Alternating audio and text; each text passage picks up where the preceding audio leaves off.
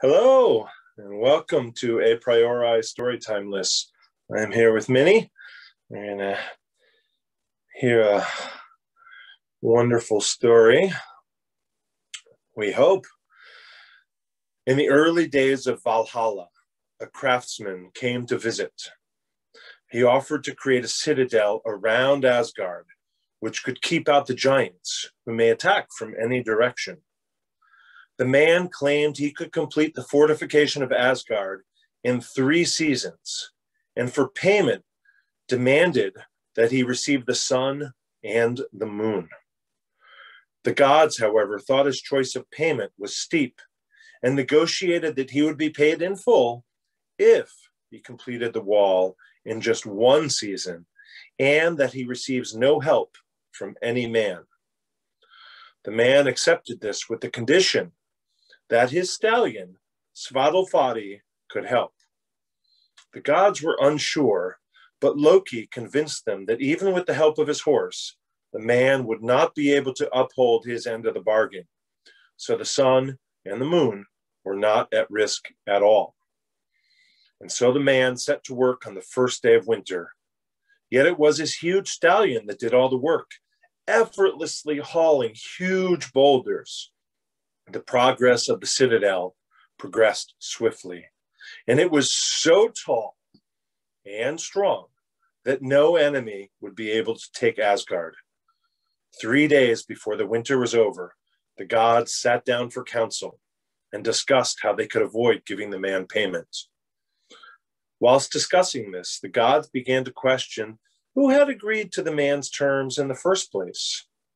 The consensus was that Loki was to blame. The evil Loki was demanded to obstruct the craftsmen from completing the last part of the citadel so that they would not need to pay him. Loki would face violence and death if not. So he swore oath that he would stop the man and his horse from completing the citadel. Whilst the man was working that evening, a mare appeared from a nearby forest and neighed toward the stallion.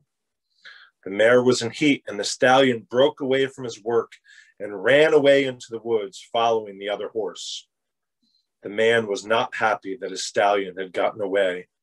He became enraged when Svadilfari ran with the mare all night and the next day, and he could not finish the citadel in time.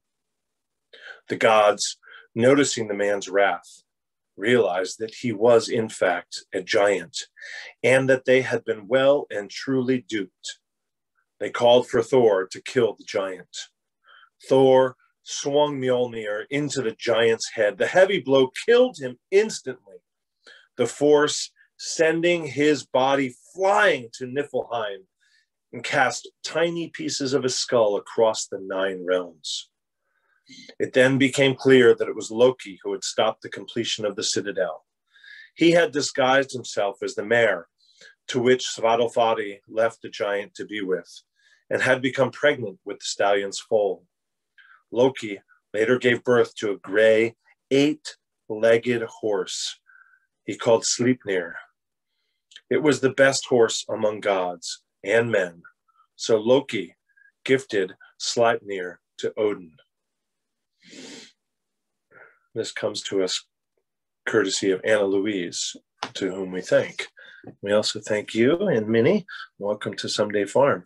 Thank you all.